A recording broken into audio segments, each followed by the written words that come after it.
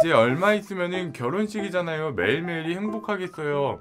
그래서 더 바빠요. 제가 예전에 딱 결혼 발표하고 님들한테 말씀드린 게 저 신혼여행 한 2주 정도 가는데 2주 정도 영상 안 올려도 괜찮아요? 라고 물어보니까 정말 많은 분들이 정말 괜찮다고 신혼여행 잘 즐기고 오라고 말씀해 주셨거든요. 근데 오히려 저한테 그런 마음을 베풀어 주시니까 저는 그 신혼여행 가는 2주 동안 영상 맞뜨기가 싫은 거예요.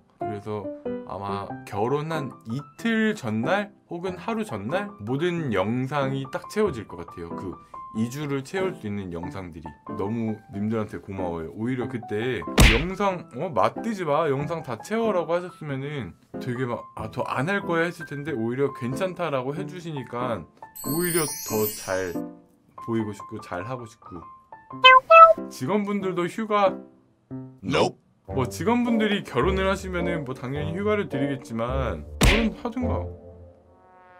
결혼 하든가.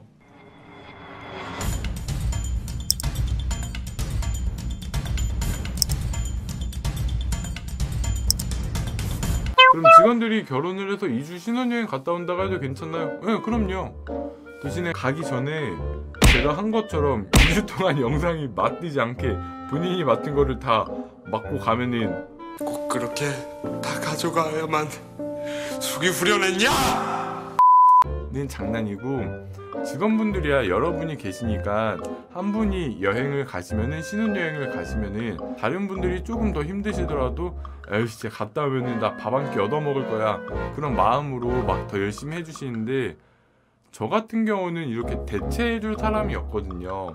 그래서 제가 다 그 채우고 가려고 되게 노력하고 있어요 직원분이 2주치를 미리 하려면은 벤츠님도 2주치를 녹화해야 되잖아 안 되겠다 저와 같이 일해주시는 분들 결혼을 하셔서 신혼여행을 가신다 하시면은 편하게 다녀오세요.